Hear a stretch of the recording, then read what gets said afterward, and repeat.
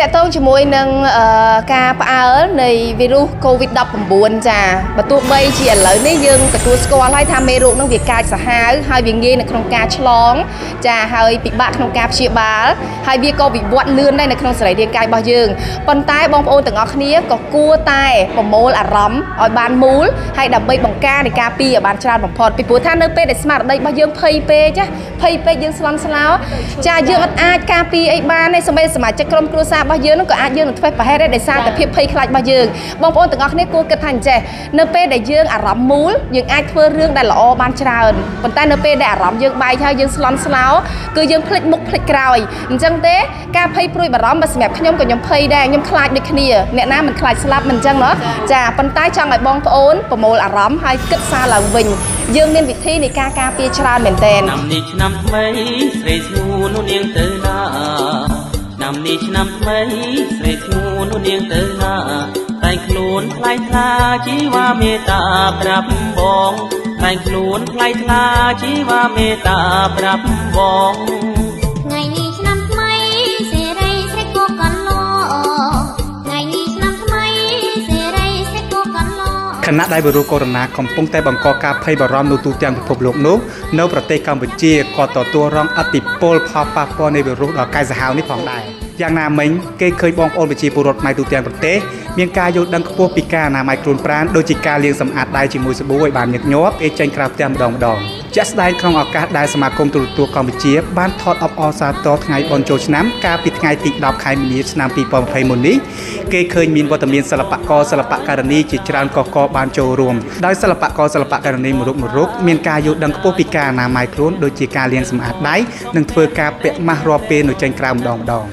ចង់ដឹងថាសិល្បករសិល្បករនីដែលចូលរួមរំជានៅក្នុងកម្មវិធីនេះមានចំណាប់អារម្មណ៍បែបណាក៏ដូចជាចង់ដឹងថាពួកគាត់មានសារអ្វីផ្ញើទៅដល់ប្រជាពលរដ្ឋខ្មែរទូទាំងប្រទេសយ៉ាងណានោះសូមអញ្ជើញទស្សនាជាមួយនឹង TV ផ្ទះតារាដូចតទៅដងទឹកជូនថ្លៃស្រងព្រះឆ្នាំថ្មីជាមួយនឹងគ្នាដងទឹកជូនថ្លៃស្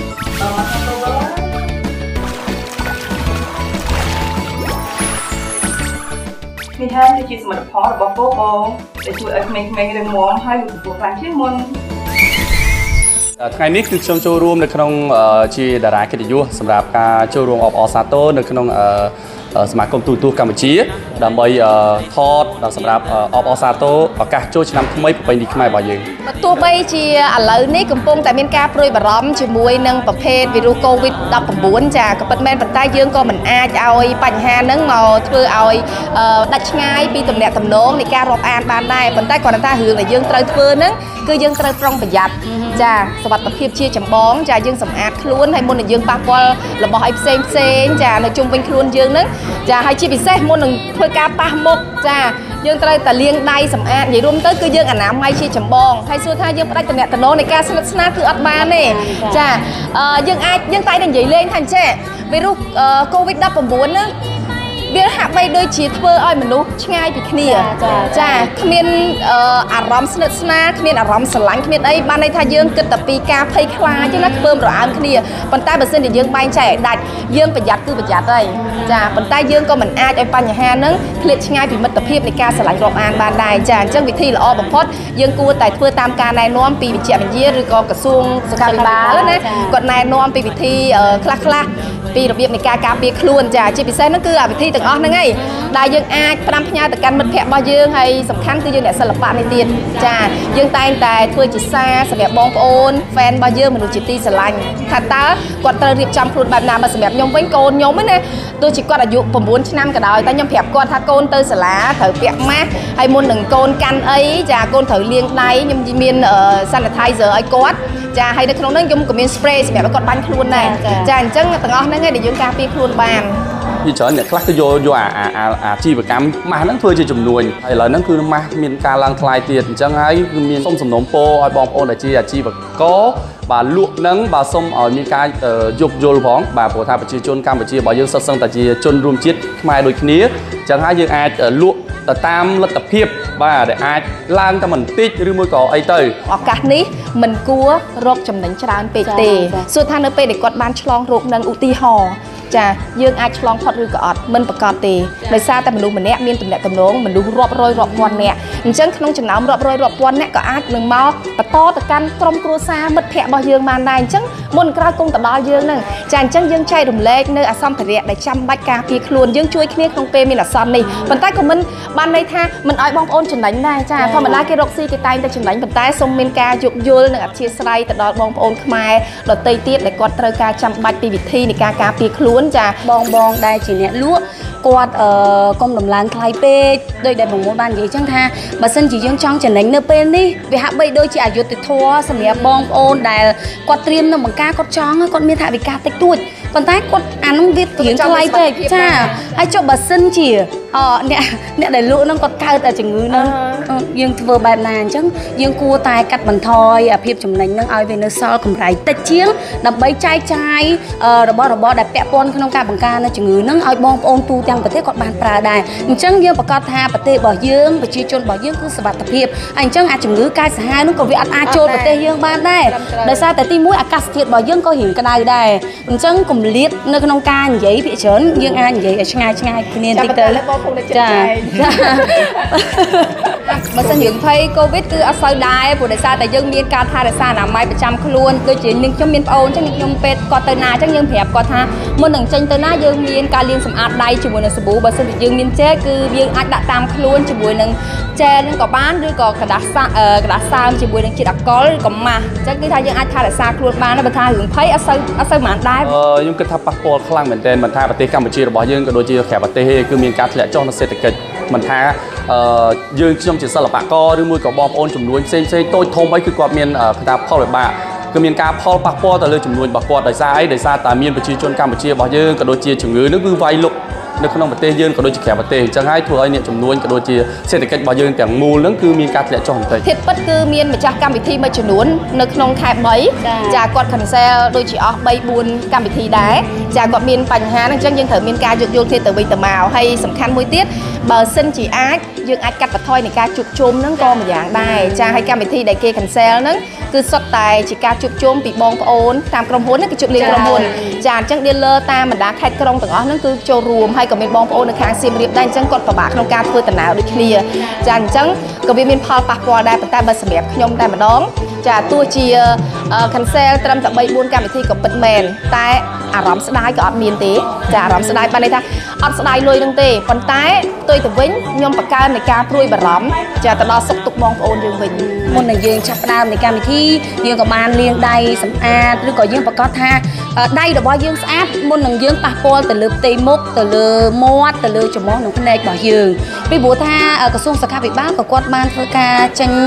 សេចក្តីថ្លែងការណ៍ឲ្យថាការពាក់ម៉ាស់ជាទូទៅយើងមិនបាច់ចាំបាច់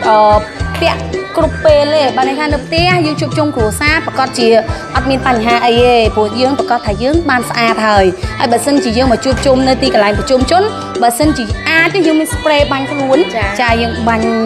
ទៅលើដងខ្លួនរបស់យើងយើងលើកដៃបានស្អាតទៅវាអាចបង្ការនៃការការពារបាន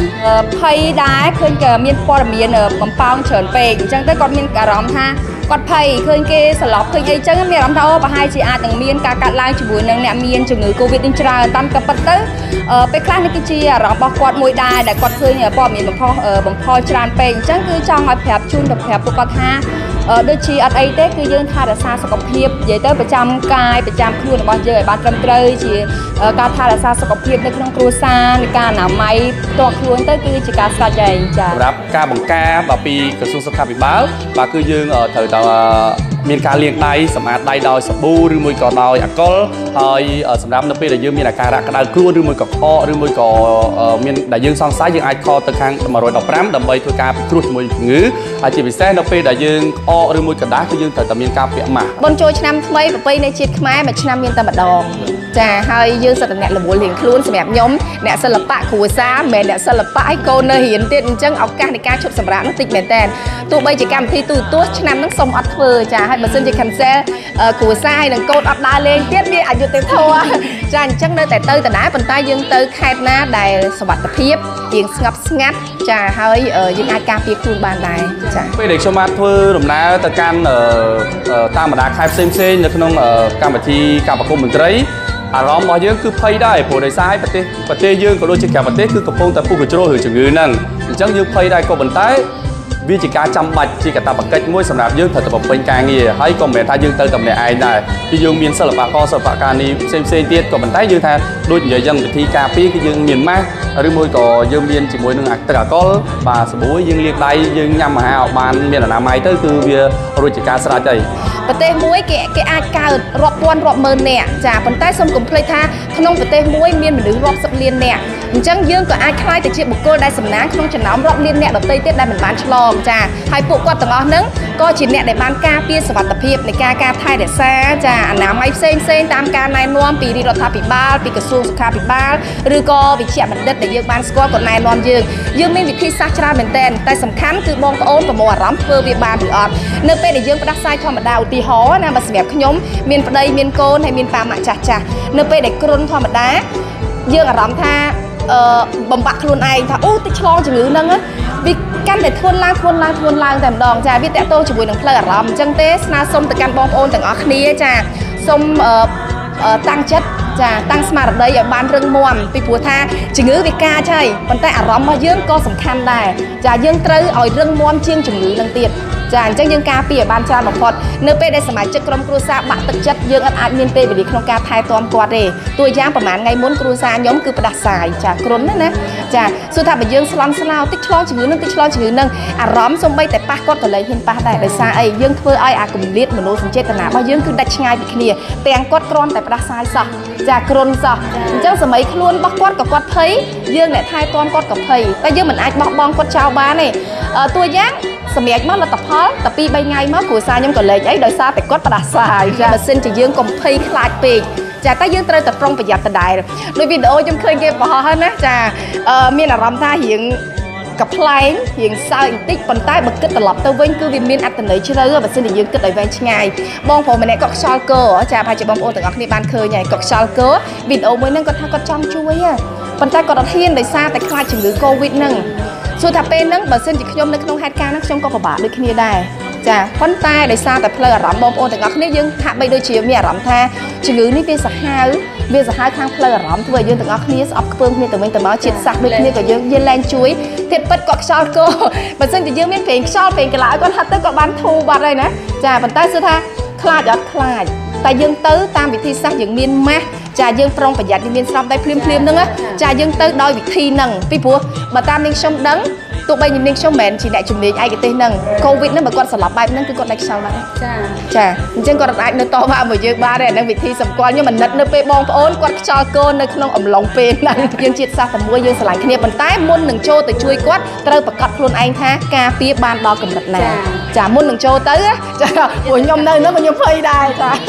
អរគុណបាទសម្បត្តិនេះបាទសានក្នុងឱកាសចូលឆ្នាំថ្មីប្រពៃណីខ្មែរបាទឆ្នាំជូតបាទគឺឆ្នាំនេះបាទក៏សូមគោរពជូនពរទៅដល់ពុកម៉ែបងប្អូនប្រជាជនកម្ពុជាមហាគ្រួសារខ្មែរទាំងអស់ឲ្យទទួលបានអឺសុខភាពល្អជាពិសេសរួចផុតពីជំងឺ Covid-19 សូមឲ្យវាអឺថារលាយបាត់ឆាប់ៗនេះបាទហើយមានថ្នាំព្យាបាលបាទដើម្បីឲ្យប្រទេសកម្ពុជារបស់យើងក៏ដូចជាប្រទេសផ្សេងៗទៀតដែលកំពុងតែជួបបញ្ហានេះឲ្យទទួលបាននៅ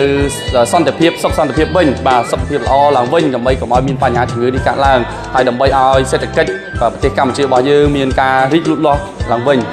អរគុណច្រើនហើយអឺថ្ងៃនេះបើសិនជាយើងខ្ញុំទាំង3ចាអឺពាក្យពេចន៍នៃអារម្មណ៍នៃការផ្ញើសារទៅមានការលឺលួអីក៏សូមខន្តីអភ័យទោសប៉ុន្តែយ៉ាងណាមិញក្នុងនាមយើងជាសិល្បករសិល្បករនីទាំងអស់គឺពិតជាចង់បង្ហាញនៅអារម្មណ៍ស្រឡាញ់នៃការយកចិត្តទុកដាក់និងព្រួយបារម្ភបងប្អូនទាំងអស់គ្នាចាខ្ញុំក៏ត្រូវប្រុងប្រយ័ត្នខ្លួនឯងក្រុមគ្រួសារខ្ញុំក៏ត្រូវប្រយ័ត្នបងប្អូនក៏ដូចគ្នាដែរចាជូនពរសុខភាពល្អសំណាងល្អគ្រប់គ្រប់គ្នាក្នុងឱកាសឆ្នាំថ្មីអរគុណច្រើនបាយ ឆ្នាំនេះឆ្នាំថ្មីស្រីធ្នូនោះនាងទៅណាឆ្នាំនេះឆ្នាំថ្មីស្រីធ្នូនោះនាងទៅណាតែងខ្លួនថ្លៃថ្លាជីវ៉ាមេត្តាប្រាប់បងតែងខ្លួនថ្លៃថ្លាជីវ៉ាមេត្តាប្រាប់បងថ្ងៃ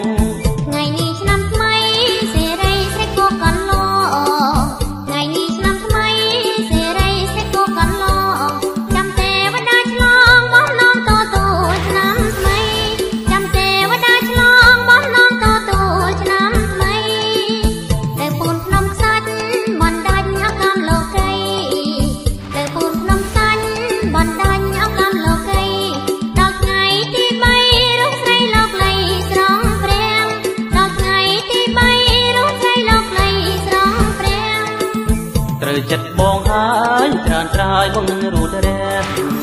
ទៅចិត្តបងហើយត្រានត្រាយបងនឹងរូតរះទៅវត្តសំពះដែលជាព្រះរតនត្រ័យទៅវត្តសំពះដែលជាព្រះរតនត្រ័យកាប់សាច់ជូនស្រីដើម្បីគ្នាជាប់និស័យកាប់សាច់ជូនស្រីដើម្បីគ្នាជាប់និស័យ